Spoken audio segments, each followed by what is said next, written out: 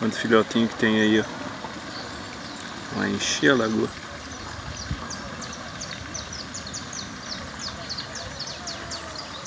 Já devem ter dado bastante comida para eles hoje, porque não está nem beliscando.